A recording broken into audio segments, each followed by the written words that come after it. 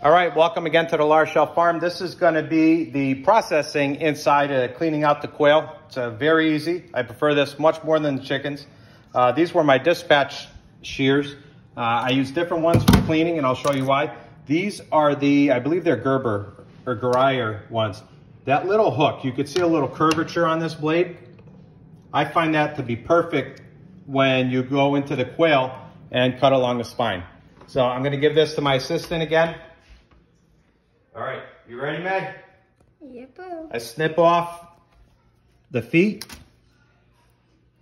Okay, now you're gonna wanna find the spine and the butt. And this little hook part, you send that right in here and you cut right alongside the spine all the way up. And that little hook keeps it against the top of the rib cage and keeps you from cutting the guts inside.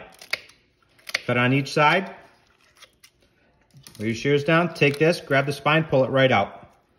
You can see these are the two testes of the male inside. You've got a lung on this side. You want to take that out. A lung on this side, pop that out. That's the little white piece. All the intestines. If you reach in here and kind of sweep in with your finger, you can see it, my finger on the other side. Just pull that right out. And yank that right out. There you go. And there's the little heart. You want to try that, Landon? A true warrior would eat the raw heart. You don't think so?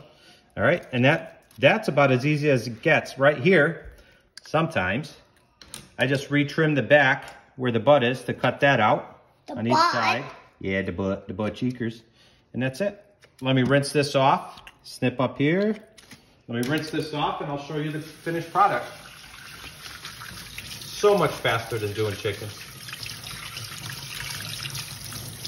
Make sure you clean all the insides out really well. Nice cold tap water works great. Dad, All right. And here you go. There's a nice little quail, all processed, ready for the grill. If you want, you can split them right in half, put them on the grill, or butterfly them this way. I do a quail and rice recipe. Little piece of the lung left there. Just pop that right out again and rinse it. And I throw it into my bucket. I think that was wrong. There you go. And I've got a few more left to do. All right. Again, thank you for joining us here on the Larochelle Farm and how I like to process the quail. Thank you.